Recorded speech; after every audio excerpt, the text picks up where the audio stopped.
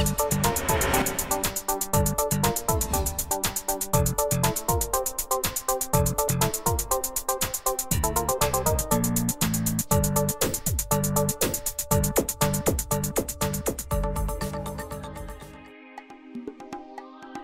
مشاهدينا الكرام مرحبا بكم. اليوم كاتب الدولة لوزارة الشؤون المحلية والبيئة يقوم بزيارة إلى جهة سوسة للنظر في الوضع البيئي بصفة عامة. قناة صوت الساحل تاخذكم معها لمواكبة أهم الفعاليات الزيارة هذه. خليكم معنا.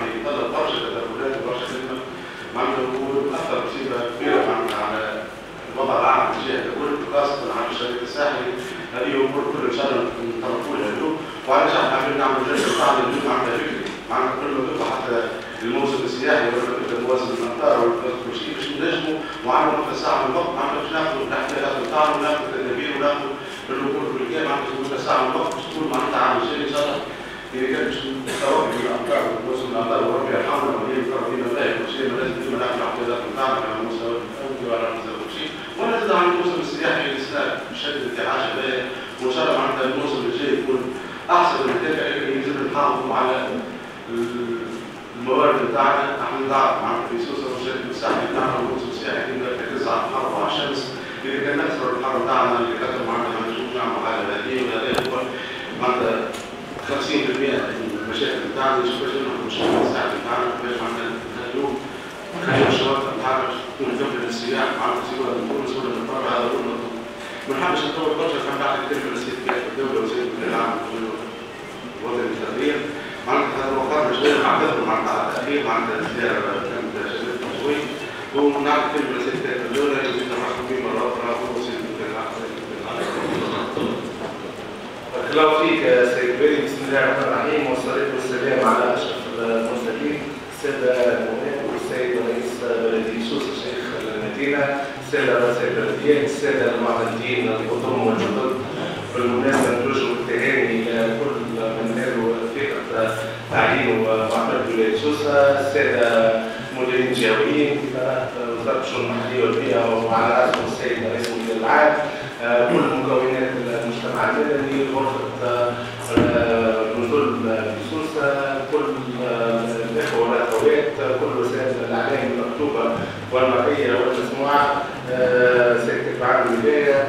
تقريبا ذكرنا كل إن شاء الله ذكرنا كل الناس؟ كما قال السيد ولي الذكر إن شاء الله بداية عام هجري مبارك عليكم وعلينا جميعا وعلى كل الشعب التونسي والأمة التونسية.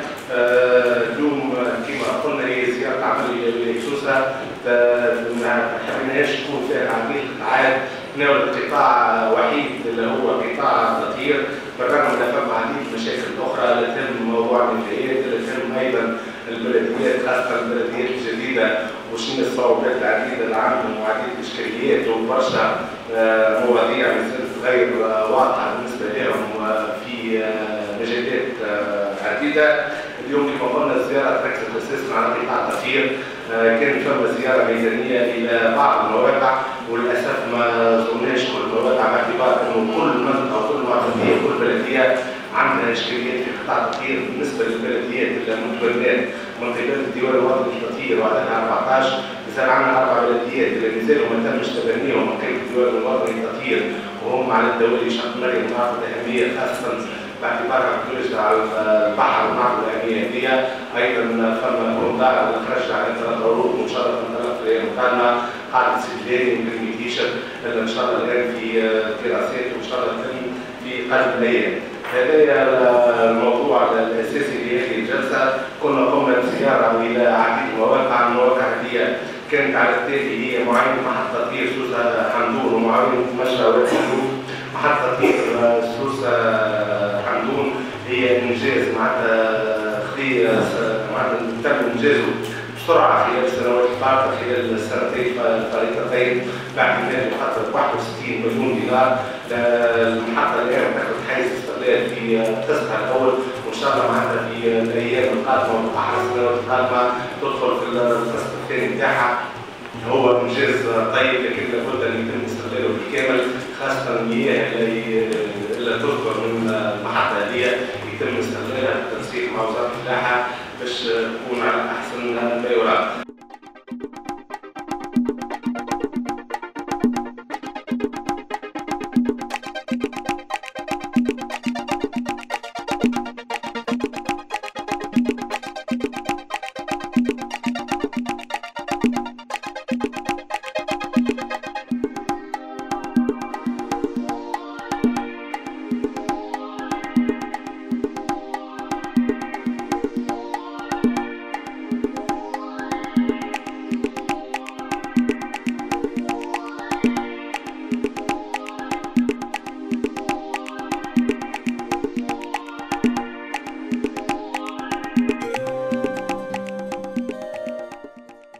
أهلا وسهلا مرحبا بك ومرحبا بكل مشاهدي الساحل تي في. كان تحط لنا الزيارة هذه في الإطار نتاعها شفنا اليوم برشا تساؤلات برشا أجوبة زاد كيف كيف جملة من القرارات. لو كان تحكي لنا شوي اجمالا على الجلسة بتاع اليوم.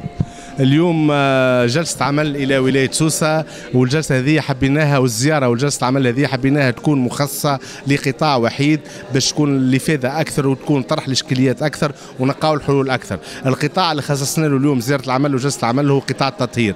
نعرفوا أهمية قطاع التطهير في ولاية سوسة نعرفوا أهم الإشكاليات الكبيرة اللي موجودة في ولاية سوسة وأيضا لابد أن نقولوا أنه فما إنجازات كبيرة في قطاع التطهير في ولاية سوسة. أهم الإشكاليات تتمثل أيضا خاصة معناتها في مياه التطهير اللي يتم سكبها في البحر والتأثير على المصطفين والتأثير على السواح وما يولد هذايا معناتها من تذمر كبير من من كل الأطراف. الموضوع هذايا معناتها مش يتم حله بحول الله. بعد إنجاز محطه تطهير اللي دخلت في قسط أول طور الاستغلال محطه التطهير هذه في واد حمدون. باعتمادات تتجاوز 60 مليون دينار مازالت عملية ربط جزء من المياه من محطة المحطة الشمالية اللي موجودة في حمام سوسه إلى محطة واد حمدون. وبالتالي معناتها يتم ازاله وفض الإشكال بصورة نهائية وما يوليش عندنا حتى مشاكل لكن المشروع هذا نعرفوه أنه تحب له سنتين على الأقل. هذاك علاش لابد من وجود حلول عاجلة باش يكون موسم السياحي المقبل على أحسن ما يرام الحلول هذه أنه فما مشروع الآن ينجز في المحطة هذه بحوالي 7 مليون دينار لتجنب الروائح الموجوده وأيضا باش المحطة معناتها يتم تحويل جزء منها باعتبار أن المحطة مجعولة لحوالي 15 مليون متر مكعب. اليوم المحطة هذه معناتها تستوعب في أكثر من 50 وهذه معناتها كمية كبيرة. هذاك علاش لابد أن تكون فما حلول وقتية ثم الحلول العاجلة والجذرية مش تكون فيما بعد. هذه من ناحية. من ناحية أخرى فما عديد الإشكاليات اللي تهم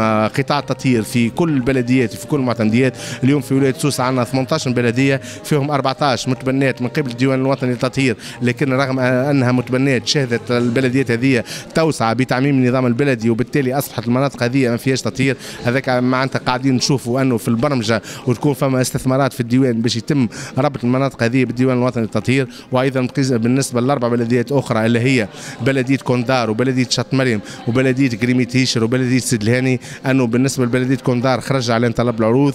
بالنسبة لبلدية شط مريم في المرحلة الأخيرة لإصدار طلب العروض باعتبار أنه فما إشكال عقاري إن شاء الله نتجاوزوه. ونفس الشيء بالنسبة لبلدية سيدي الهاني تقعد بلدية كريميتيشر إن شاء الله معناتها يتم آه الانتهاء من الدراسة معناتها في وقت لاحق ويتم ربطها بشبكة تطهير إنجاز استثمار لها ومشروع لها وبالتالي تكون كل ولاية سوسة خاصة المناطق الحضرية لما نلقاو فيها التجمع الكبير والتركز الكبير تاع السكان مربوطة بالديوان الوطني للتطهير. هذه تقريبا أهم الإشكاليات اللي تم طرحها خلال هذه الجلسة. تم الاتفاق على عديد الجلسات اللي مش تكون ثنائية. أيضا تم الاتفاق مع السادة رؤساء البلديات أنه قبل ما ينجز أي مشروع لابد أن يكون فما تنسيق مع كل المتدخلين ومن بينهم الديوان الوطني للتطهير. خاطر ما هوش معقول باش نجيو نكيسوا كياس وبعد شهر وشهرين نجيو نكسروا الكياس باش نأديو قنوات التطهير ولا قنوات السوناد وغيرها. هذاك علاش لابد أن تكون عملية تنسيق معناتها محكمة. عملية تنسيق معناتها تكون عندها جدوى كبيرة واللي يقوم بالعملية هذه هم الساده المعتمدين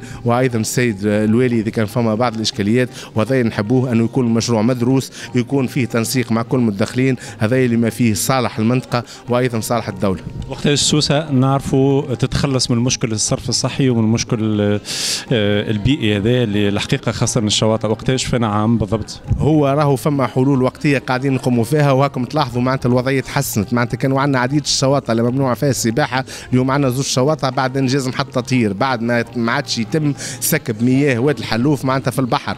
قعدت بعض الإشكاليات هذه كما قلنا ما تفض بصورة نهائية وجذرية ويكون الوضع طيب وعلى أحسن ما يرام إلا مع نهاية المخطط أو بالأحرى مع إنجاز القسط الثاني محطة تطهير واد حمدون. إلا مش تتم عملية ربط المحطة الشمالية بالمحطة الجنوبية وبالتالي معناتها نكونوا في وضعية طيبة وضعية معناتها مريحة تحافظ على البيئة وتحافظ على الشطوط نتاعنا وتخلي سوسة كوجهة سياحية متميزة معناتها اللي يميزها هو البحر وإن شاء الله تبقى اللي يميزها فعلا هو البحر. شكرا بارك الله شكرا. مرحبا بك سيد رئيس بلدية الهاني. آه شكرا بارك الله فيك على الدعوة. محمد جليتي رئيس بلدية سيدي الهاني كان تحكي لنا شفناك بكري في المداخلة نتاعك حكيت على الوضع نتاع البيئي آه، بسيد الهاني نحب نسألوك آه، الإجابة كانت على حد الانتظارات أم لا؟ والله آه، شكرا كذلك على التأكيد على السؤال وعلى التأكيد باش نعطيك الإجابة في كانت في انتظار الوعود في انتظار الطلبة الانتظار ولا لا. أنا شخصيا هي مشكله معتمديه سيد الهاني نختزلها شوية معتمديه تهمشت شوية في السابق ومشاكلها كبيرة بيئية وصحية وبرشا مشاكل. أنا دخلت اليوم في المناسبة هذه نتاع حضور السيد كاتب الدولة للشؤون المحلية باش نبلغ مطالب المواطنين فانتظرنا طويلا هي تركيز محطة للتطهير والمياه الصرب. تدخلي ربما حسيت وربما كنت دخلت فيه شوية بشراسة. بقينا حسب الإجابة نتاع السيد كاتب الدولة والسيد المدير العام للتطهير.